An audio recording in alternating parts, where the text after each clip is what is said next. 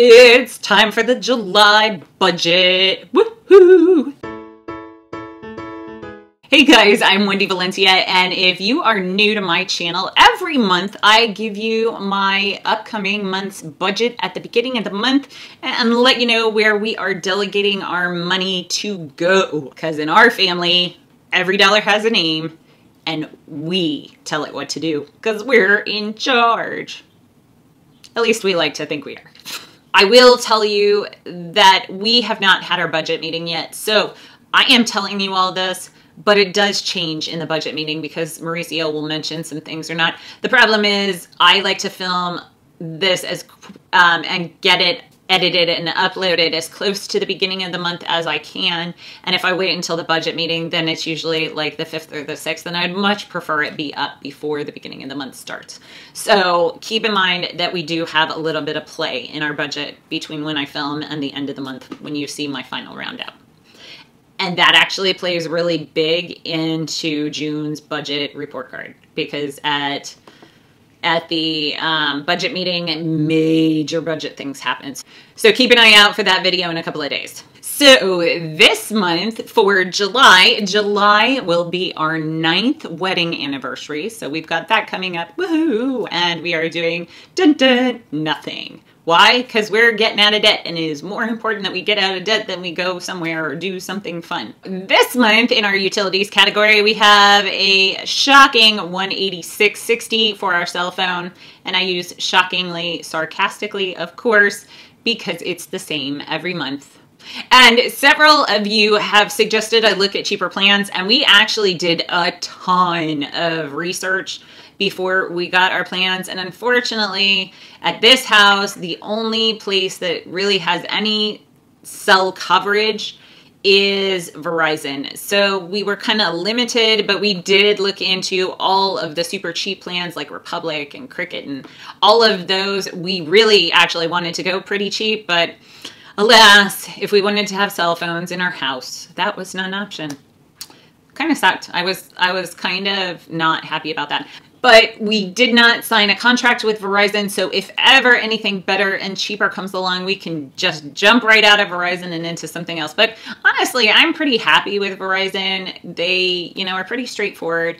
Our fees are costly, but we have the highest data plans available. And a lot of that is for YouTube and I can write that most of that off. So, you know, not an excuse, but you know, it's it's how we've chosen to allocate our money. So other people might choose otherwise, but for us, our access to the internet is super important. And then of course, another shocking 355 for the storage unit. And the good news is I looked at my calendar and it looks like in two weeks, I'm going to go out to the storage unit. So I'm going to try and film a video while I'm out there. So I'll give you a quick little tour of our storage unit and explain to you a little bit in depth why we are paying so much money while we are living at my parents' house, it will make sense to you after that video. I promise. So hold on tight and hopefully it'll be coming within the next month. Fingers crossed. No rain. Because we can't go out there if it's going to rain. Honestly, today would be the perfect day to go out there. It is beautiful. Here, let me show you out the window. Isn't that gorgeous? It's so lovely out. So in transportation, we have $75 in for the car wash service. Mauricio has gotten fed up with Amazon Flex and so is Ubering a lot more right now. And now that it looks like Uber will be allowing their drivers to accept tips, remember, tip your Uber driver. So now that that's happening, I anticipate his earnings will go way up because everybody loves Mauricio. I mean, when they meet him, he makes people howl. And he got like yesterday in cash, he got like $28 in tips. So, yeah, and that's just when it's difficult when people have cash on hand. So, I anticipate that now that Uber will allow you in-app tipping that he will get a decent amount of tips, which is nice gas we have the standard 400 which we never use. We usually are between 250 and 300 although with him ubering i do want to keep that up around 400 his car doesn't burn much in the way of gas but you know better safe than sorry. That's a, it's about four and a half maybe five additional tanks of gas for him if we leave it at 400 and the $50 for the oil change pretty standard. Mauricio, because he drives his car into the ground, gets an oil change almost every month, pretty much every month. So I always have it in there just in case he needs it. And then $70 for E-ZPass because he's always on the toll road. Even though it, for driving for Uber, they actually reimburse him that. He he makes note of every time he gets on the toll road when he's Ubering and then submits some sort of form and and they will reimburse him for the tolls, which is fantastic in my book. Stores, we have our standard 150 for Amazon and $40 for the dry cleaner. I doubt I will be using the dry cleaner because I don't wear suits smack in the middle of the summer as much. I try and wear short sleeve blouses or dresses to work. So, but I like to keep that in there in case I have to wear a suit and then I spill something on it and I need to take it to the dry cleaner immediately. And then Amazon, that 150, we use it every month and it's always for random stuff that I have forgotten we needed. And, and it's, it's, it's super helpful to have that in there because then when we need something or want something and I've totally forgotten about it, then it doesn't really impact our budget. Insurance and tax, we have our 159.73e same as it is every month for USAA, and that includes our renter's policy and our car insurance policy. And the renter's policy is it covers the storage unit because we definitely need that. And then the insurance I love to hate, well, it's only $12 a month. It irritates me that I did this.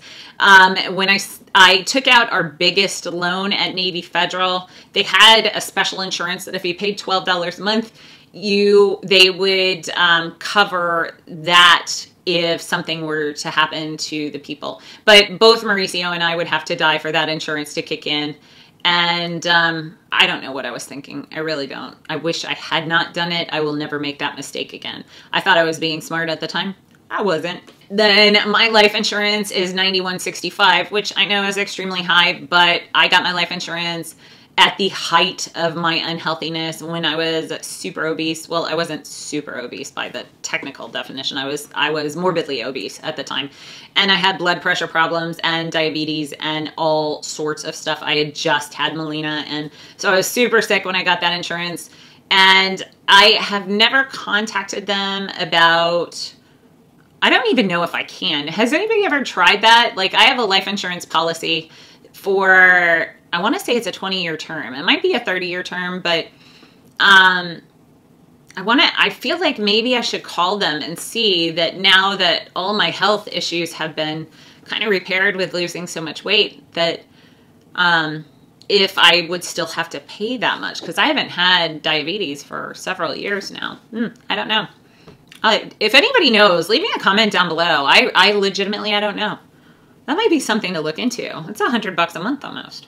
Mauricio's life insurance is $35.83 like it is every month. And of course, it's because he's young and healthy. So his was super cheap. And in our giving category, as of right now, we are doing nothing for our anniversary.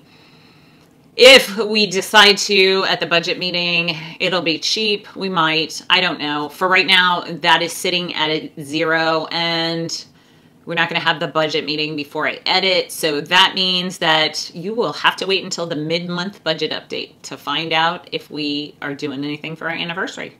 I kind of hope we do. I really kind of hope we do because you know, nine mm-hmm. years together. And in those nine years, we've always been kind of strapped for cash.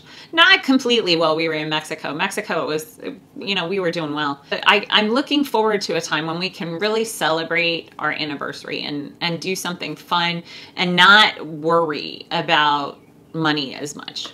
In our miscellaneous category, the category I use because I cannot figure out where else to put these things.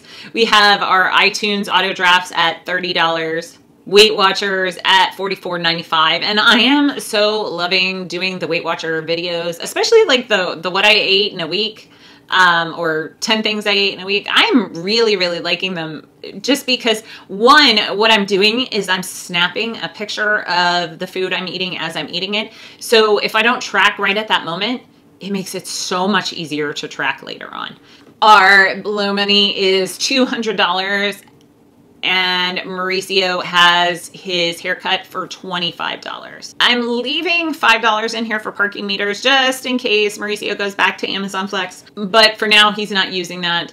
and then $10 for junk food. And again, he's not using that because he's driving around all day. So he's not anywhere near a vending machine. So for right now, with him not Amazon flexing, it's um, he's not using those, but he will probably go back to Amazon Flex in a couple of weeks because he'll get tired of driving all day, every day. And as of right now, our debt payments are going to be $4,811.60. And as always, I have a $100 cushion in there just for catch all. And the last couple of months, it's been way over the $100. I don't know. I don't know if I should up it or if I should. Some of the things like the $100 parking ticket, I mean, we didn't know that was coming. It had to be paid. So I don't know. I, I legitimately, I don't know if we should up it or not. Yeah, and and we had another hundred dollar expense um, that had to be done right then and there, and so that was two hundred dollars last month. But you'll hear about that in the June report card. You know, June last year was horrible. And if you haven't seen that video, I'll put a link to it up below. Up up below. Yeah, I'll put a link up to it below. Um, I'll put a link to it in the eye in the sky. It, it was bad last year. We actually ended up taking on more debt than we had intended well, that we intended to take on no more debt, but we had to. We didn't have a choice. Well, we did have a choice, I guess, but it was um, probably smarter for us to get out of the situation we were in by incurring a little debt. It just had to be done. So, you know, I'm nothing if I'm not honest. So, at least this June wasn't as bad as last June. So in the YouTube category, I have the three standard charges that I have every month in YouTube. The 4 to 50 for TubeBuddy, 4.99 for PicMonkey, and the $5 for Backblaze. Uh, TubeBuddy is an analytical tool. PicMonkey is what I use all my graphics, like, um, you know, these overlays that I'm showing you with the, the moving background and stuff. I use that. I use PicMonkey for a lot of those. The the higher tech stuff, not just the like straight on talking. And then all my thumbnails, I use PicMonkey. I use PicMonkey a lot. And in fact, I did one video where I did some printables for Teacher Appreciation Week, and I made those, and I'll put an eye in the sky for that too. But um, I did those in PicMonkey as well. So you know, I did invitations for my parents' 50th whatever, wedding anniversary in August. I did those in PicMonkey as well. They were super cute. And our sinking funds are 325 like they are every month. And those sinking funds are medical at um, $50 a month. And this year we're just saving that and then we'll start using it next year. And that that's basically going to cover our copay.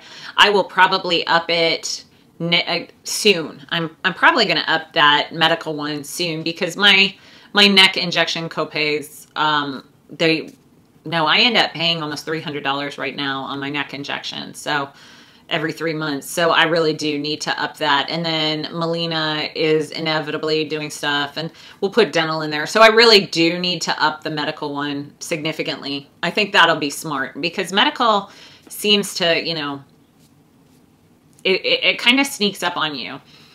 And so I'll probably do that for sinking funds, which I think will be really smart for us to do. But for now, it's $50 a month. I'm thinking maybe 150. But I, you know what I'll do is I'll probably, when I'm deciding to up that, I'll analyze all the medical expenses we've had every month over the course of the however long, you know, the last year or so. And then, then I'll divide that by 12 and that's what we'll do every month. We have the car repair replace fund set at $100 a month. We have the Christmas sinking fund at $100 a month. The emergency trip to Colombia at $50 a month and miscellaneous school expenses for Melina at $25 a month. We also have our emergency fund in our sinking funds, but that's still at $1,000. We did lower it to $1,000 when we started our sinking funds because we really knock on wood seriously knock on wood we don't really touch our emergency fund i i kind of have get heart palpitations at the thought of having to touch it so so we really do everything we can including mauricio going out and working extra if it looks like that we're gonna have to touch that and I need y'all's opinion. Summer camp this month has been super expensive. I mean, super expensive. It's like renting $1800 a month about. It's it's really expensive in this area. And i go melina goes to one of the cheapest ones. So if we're talking like rough estimate what 50 50 5400 do you think i should start a sinking fund for summer camp next year? Because cash flowing that we would be able to cash flow it but it would impact our debt payment.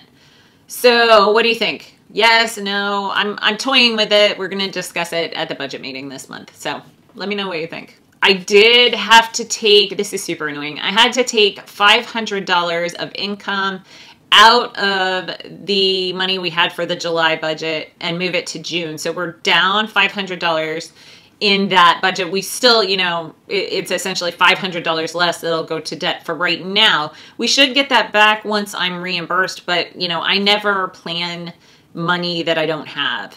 I really, I try very hard not to spend money I don't have. So for now, we're down $500 in our income because of my work trip.